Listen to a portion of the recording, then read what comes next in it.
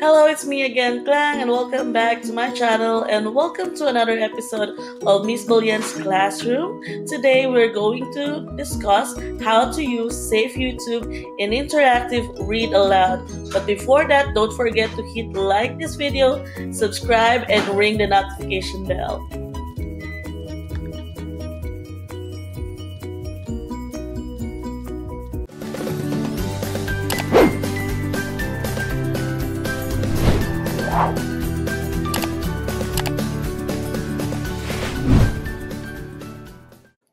If you want to make an interactive read aloud in your class and you want to link YouTube videos, but you don't want to see ads or any playlist along with it, I am introducing you Safe YouTube.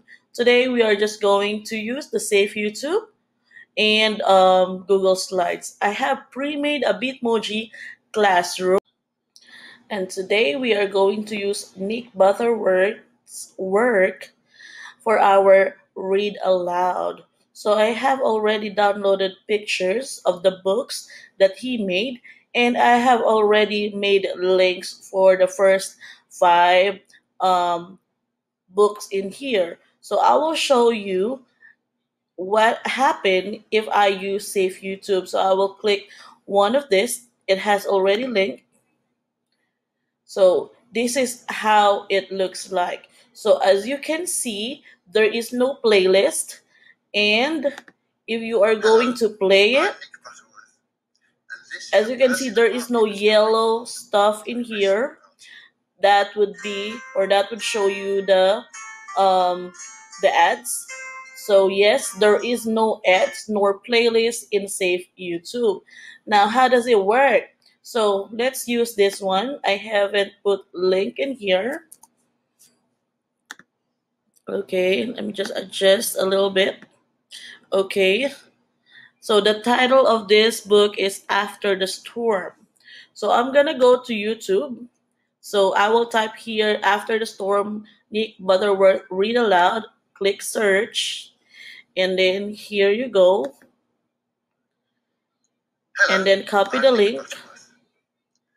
This is a Percy the Park Keeper story called After and then go to um, safeyoutube.net, copy, oops, copy, generate the link. There you are, as easy as that.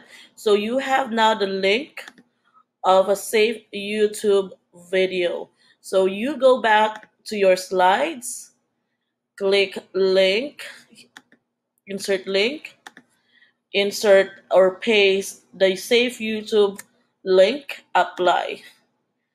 That's it.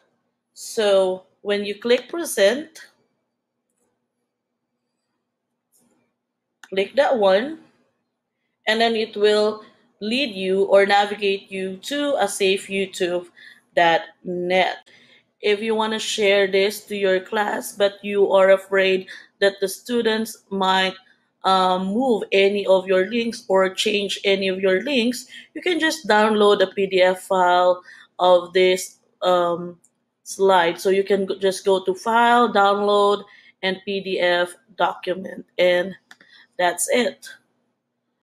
There you are, guys. That is how to use Safe YouTube in interactive read aloud. I hope this is helpful for you. Actually, this is not just used for interactive read aloud. You can use Safe YouTube in any of your lesson. This is just to avoid ads and playlists so that the student will focus on the video that you want to share to them. So if this is helpful for you, don't forget to hit like the video, subscribe, and ring the notification bell. Thank you. Have a great day.